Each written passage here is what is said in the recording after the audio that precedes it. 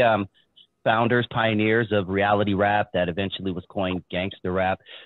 What are your thoughts on drill music? Are you familiar with the drill scene where these kids are going back and forth and there's guns involved and there's just uh, trash talking to an ultimate level where they're literally peeing on grave sites of their rival rapper friends and they're they're going they're just doing really are are you, are you keeping up with that side of hip hop today? Not at all. Hmm. I don't know what is that. Good, stay away from it. Yeah, so That's why Yeah. cats is dying in You talk about like- these young like cats flies. that's dying out Somebody- here over music. Yeah. yeah, exactly. That's it right there. Yeah. Nah, I don't. and then when no one dies, yeah, when one dies, they make a song dissing the dead person, and then they make a song dissing them, and it, it's it's just back and forth. Yeah, who gave them cats money? You know what I'm saying? Like, how do how Yeah, how are they able? well, you know, it's a new it's a new thing. You can do whatever you want. You know what I'm saying? You get your get your own platform and, and do what you want. That you know, it wasn't. We couldn't do that back in the day. You know what I'm saying? We, it's it's it's a different time. You know.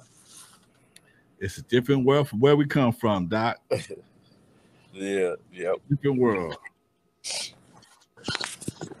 Man, man. Well, I got another question. Then, uh, shit, let's keep let's keep it pushing because I'm uh, really enjoying this. Um, did you ever meet Suge Knight, and and what were your remembrances of uh, hanging around Suge? Yeah, I mean, come on, man. I mean, running around Compton, you, you know, yeah, you know, I, some we were all good friends. You know what I'm saying? Suge, Suge was a good cat, man. That um, he put, you know, he put something together that was that was incredible, man. And it, it was a shame that he he he and he squandered it and lost it all. But it, it you know it was it was the money that did it. It was you know he didn't know you know it, it was a sad situation. But Suge was cool. You know, Suge. One thing about Suge, he knew who to mess with and who not to. You know what I'm saying? That's all. You know, and I just hate the hated the way that things turned out. He had it all. You know what I'm saying? Had it all, dude. Had it had all. it all. Gave it all and and lost everything else. That's that's that, that right there, dude, is something that always bothered me. And I see some of the same trends with some of these youngsters today.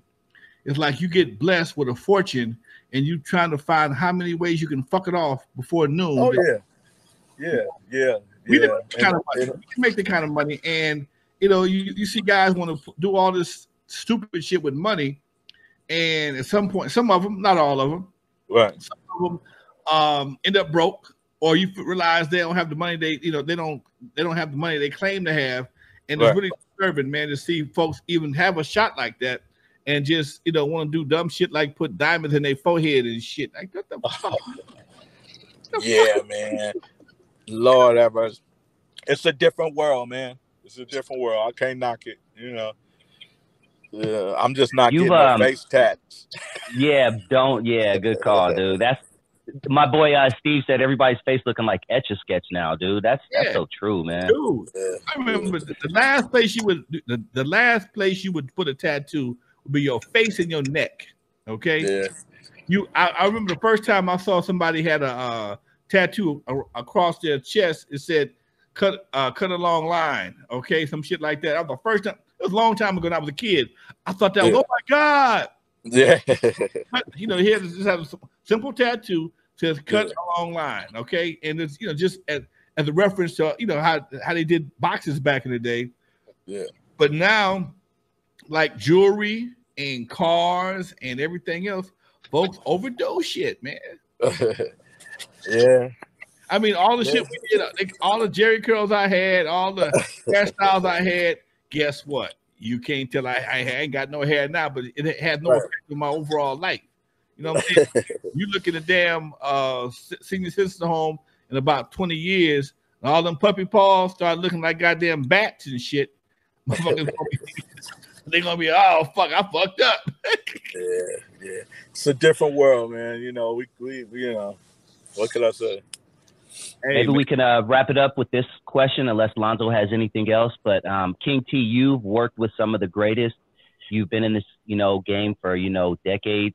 If you could take one person to battle with, because that's another thing. King Tee was always, even though he was West Coast, he was still like a. Uh, you always had lyrics. You were always bars. You always cared. Like you were always a rap. So you're a rapper's rapper. That's the best way to put it. If you could take anybody to battle with you to go up against two other cats from the West Coast, any of one person from the West Coast, it doesn't matter what decade, what it went, who would King Tee take as their partner to go into battle? Oh wow, uh, that's a good question.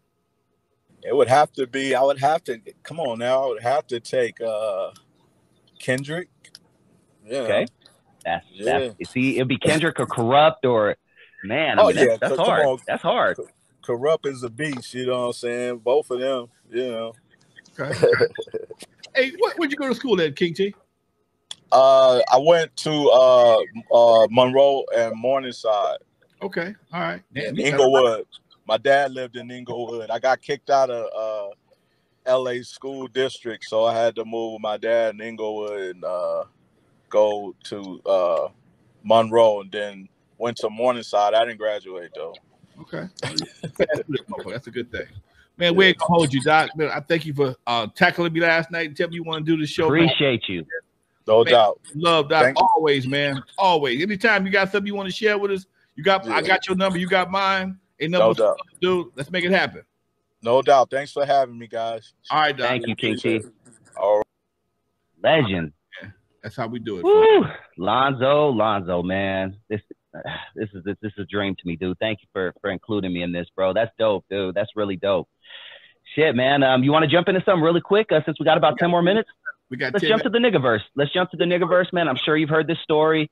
Uh, rapper Boosie, Boosie Badazz, popular rapper from uh, Baton Rouge, Louisiana, was recently arrested uh, in San Diego. He came out to San Diego, recorded a music video with a certain gang. And during the recording of the music video, someone who was recording them record caught glimpse of Boosie having a uh, pistol tucked into his back pocket. Now, Boosie is a registered felon who, in no way, shape, or form, can carry a pistol, let alone in California, a state he is not from. So, that being said, uh, Boosie went to court, thought everything was cool, walked out, and allegedly was re- arrested on the spot.